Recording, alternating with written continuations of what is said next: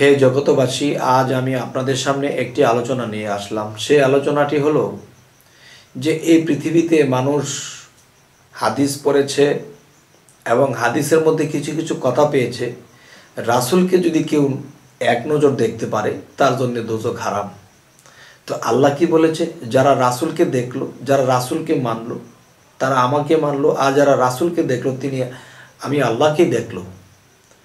যারা রাসুলের হাতে বায়াত গ্রহণ করল, তারা আমি আল্লাহর হাতে বায়াত হলো। এই কথাটা সুরা ফাতা দশ নম্বর আয়াতের মধ্যে বলেছেন যে, রাসুল বলেছেন, আল্লাহ বলেছেন, হে রাসুল, আপনার হাতের উপরে যারা হাত দিল, তাদেরকে বলে দিন, তাদের হাতের উপরে আমি আল্লাহর হাত আছে।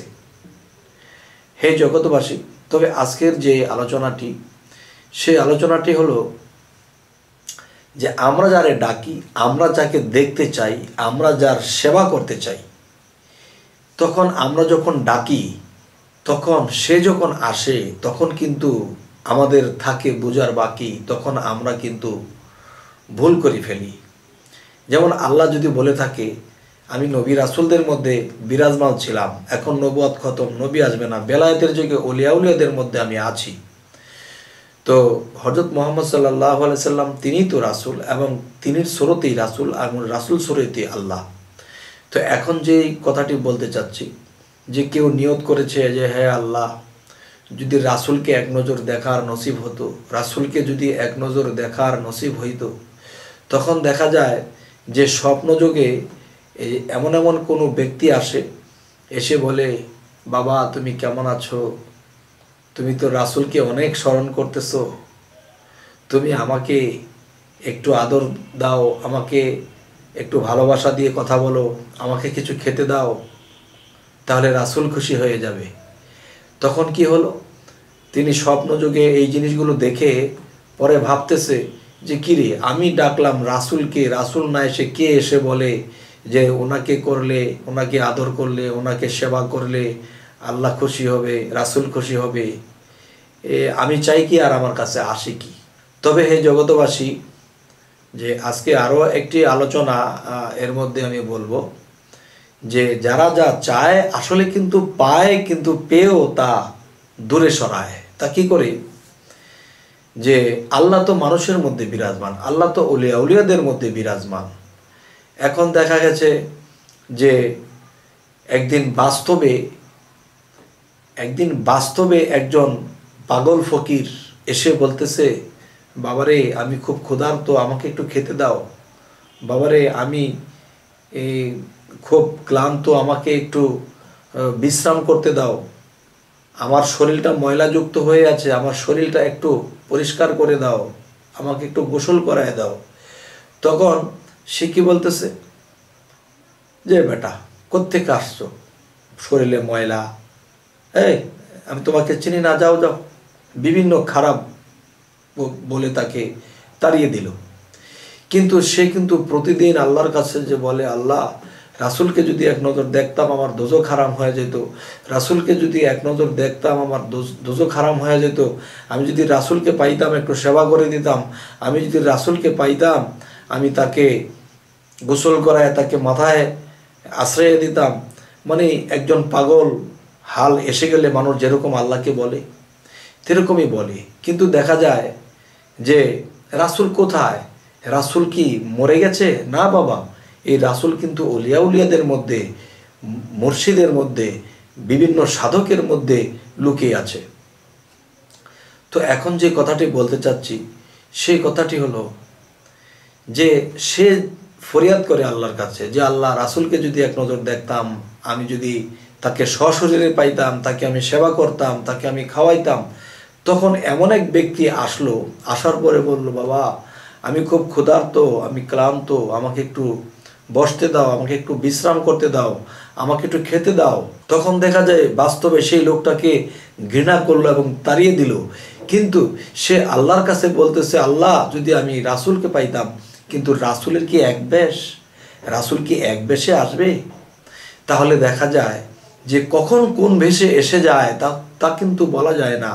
এই জন্য বলি যে, হে কপাল পোড়া হে কপাল পোড়া মানুষ, আমি আপনাদেরকে বলার আগে আমাকেই বলছি যে, এমন ধরনের কোনো মানুষ, এমন ধরনের কোনো পীর, ফকির, পাগল যদি এসে যদি এমন কিছু আবদার করে, আমাকে একটু খেতে দাও, শুতে দাও, আমাকে একটু সেবা করো, তখন ওই ব্যক্তিটিকে অবশ্যই করতে হবে। কেননা তখনই বুঝতে হবে হাই রে আমি না হাদিসে পড়েছি, আমি না আল্লাহর কাছে ফরিয়াদ করেছি যে হে আল্লাহ, তোমার রাসুলকে যদি পাইতাম, তোমার রাসুলকে আমি দেখতাম, তোমার রাসুলকে সেবা করতাম, খাওয়াইতাম, কিন্তু রাসুল কখন কোন ভেসে আসে তা তো বলা যায় না। যখন একজন পাগল ফকির এসে গেছে, সে যখন এরকম বলতেছে, নিশ্চয়ই আমার সেই চাওয়া পূরণ হতে পারে, কিন্তু আমার মস্তিষ্ক, আমার জ্ঞান সেখানে যায় না। আমি যাকে ডাকি পাইবার জন্যে সে যখন আসে, তখন নিজের অজান্তে আমি তাকে দেই ফাঁকি এবং তাকে আমি অনাদর করি, তাকে অপমান করে তাড়িয়ে দিলাম।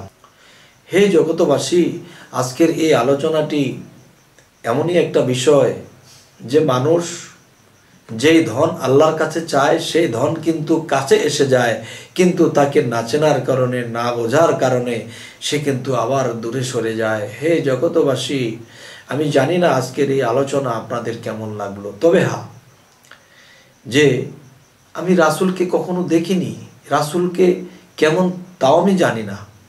তবে রাসুল কোথায় আছে? আল্লাহ বলেছে, আমি অলিয়া আউলিয়াদের মধ্যে লুকিয়ে আছি। তোমরা যে একজন অলির সেবা করো, তোমরা যদি আল্লাহর আউলিয়ার সেবা করো, একজন আল্লাহর পরেজগার ব্যক্তিকে তোমরা যদি সেবা করো, তাকে ভালোবাসো, তো মনে রেখো, সেটি আমার রাসুল পাইল, আর যেই সেবা আমার রাসুল পাইল সেই সেবা আমি আল্লাহ পাইলাম। তবে যাকে ডাকি, সে যখন আসে, তখন সরাসরি তাকে দিচ্ছি ফাঁকি না জানার কারণে। তবে হে জগতবাসী জানি না আজকের এই আলোচনাটি আপনাদের কেমন লাগল, তবে এই ভুলগুলো আমরা করব না। কেন বাবা? একজনকে সেবা করতে আমাদের কয় মিনিট সময় লাগে? একজনকে সেবা করতে আমার কয় টাকা খরচ যাবে? তবে আমরা কেন এরকম ভুল করব। তবে হ্যাঁ আল্লাহ কিন্তু সুরা মুলুকের মধ্যে বলেছে ওয়াল্লা যে খলাকাল মাউতা ওয়াল হায়াত আলী আবলু ওয়াকুম আয়কুম আসান আমালা ওয়াহু ওয়াল আজিজুল কাপুর আল্লাহ বলতেছে যে, আমি মানুষের মৃত্যু ও জীবন সৃষ্টি করিয়াছি পরীক্ষা করার জন্য। তোমাদের মধ্যে কে কর্মে উত্তম? তিনিই পরাক্রমশালী এবং ক্ষমাশীল। হে জগতবাসী যখনই আল্লাহর কাছে ফরিয়াদ করেছি, আল্লাহ কিন্তু দিয়েছে, আমি চিনতে পারিনি, তবে চেনার দরকার নেই। ওরকম আল্লাহর অলিকে আমাদের একটু চিন্তা করে, একটু জ্ঞান করে চিনে নিতে হবে। এমন সময় এমন এক ব্যক্তি আসলো যে সে আমার কাছে সেবা চাইলো, আমার কাছে একটু, আমার কাছে একটু সে আশ্রয় চাইল।